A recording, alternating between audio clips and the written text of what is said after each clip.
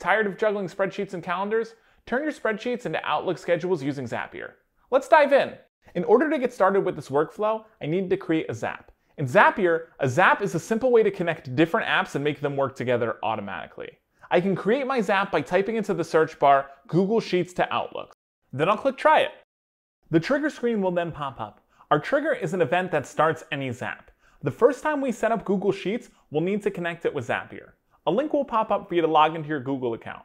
And don't worry, Zapier will only perform the actions you tell it to in a given Zap. We'll then need to fill out our Trigger Apps data. To do that, select the spreadsheet and worksheet you'd like to use for your Zap and click Continue.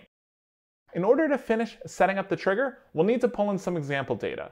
To do that, click Test Trigger.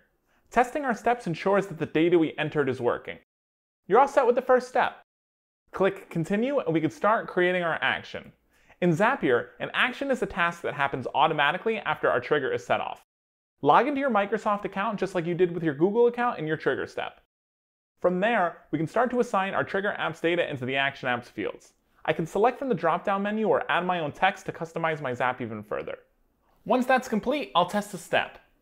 Let's check our Outlook account to make sure this worked. Yep, there it is. This is ready to turn on. Now, whenever we upload data onto a Google Sheet, it'll automatically be uploaded into our Microsoft Outlook account. I hope this was a helpful demo.